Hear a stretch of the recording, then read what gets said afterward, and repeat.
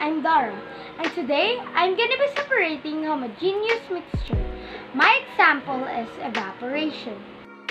The things we're gonna be needing is water, salt, and cauldron.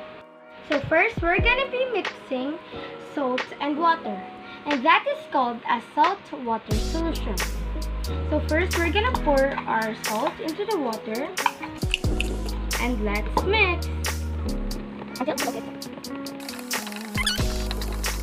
Then we're gonna put the salt solution into the cauldron. And let's cover it. Let's turn the heat on. And let's wait for a few minutes if there's already a water under it. For a few minutes there already water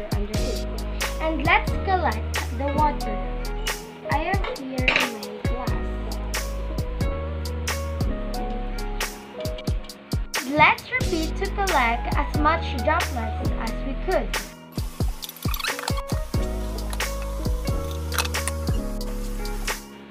These are all water droplets that I have collected. So now let's taste it. The water is kind of tasteless.